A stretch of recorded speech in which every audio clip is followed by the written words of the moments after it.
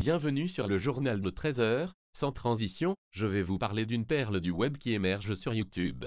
Il s'agit de Monsieur Pingus. Ce YouTuber vous propose des tutoriels sur divers jeux, mais aussi des aventures suivies, reportages. On peut dire. Et en fait, j'ai créé le mien, donc le mien, le vôtre. Il s'appelle euh, la swap. La chaîne YouTube de Monsieur Pingus atteint le nombre de 2000 abonnés. Il est très actif avec sa communauté qui le qualifie de dieu du jeu vidéo. Xbox, éventuellement par la suite sur PC. Euh, à savoir, j'ai le jeu sur Xbox. Je l'aurai aussi sur PC en plus pour être. Enquête sur la secte du pingouin.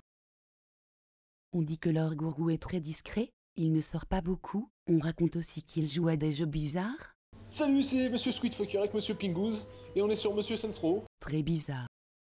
J'ai vu qu'il y avait des éducations sans enfants. C'est pas normal. Les cas, il y a beaucoup d'enfants. Le petit Rodrigo a survécu au gourou Pingus grâce à la cure. Il a appris à ne plus regarder ses vidéos de jeux après l'école. Moi j'adore Monsieur Pingus. Il est un exemple pour moi. La secte des pingouins commence à s'implanter de plus en plus en France. Les parents faites attention à vos enfants. Merci bonsoir. Ah, voilà, ma vidéo est finie.